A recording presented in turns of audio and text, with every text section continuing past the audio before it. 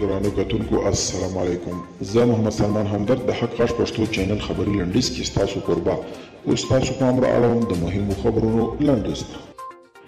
د نیوزیلنډ لومړۍ وزیرې له افغانستان څخه د خپلو پاتې سرتیرو پر وتلو ټینګار کړی دی او زیاته کړې ده چې په دوحه کې د سولې روان مذاکرات په دغه هیواد کې د تلپاتې سولې راتګ لپاره یوه غوره فرصت دی هغې دا هم ویلي چې ښکیل لوري باید دا فرصت له لاسه ورنکړي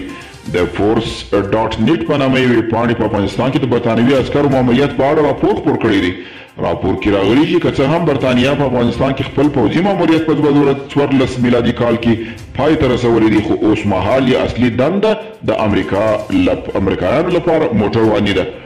د امریکا پخوانی ولسمشر ډونالد ټرمپ له نیوز ماکس سره په تازه مرکه کې ویلي چې په هیڅ صورت به بیا ټویټر ته راونه ګرځي هغه یو ځل بیا ځان ته د شخصي ټولنیز رسنۍ جوړولو خبر ورکړی ده او ټینګار یې کړی دی چې دا رسنۍ به تر ټولو نورو شبکو اسانه، ارزانه او ډېر مخاطبین ولري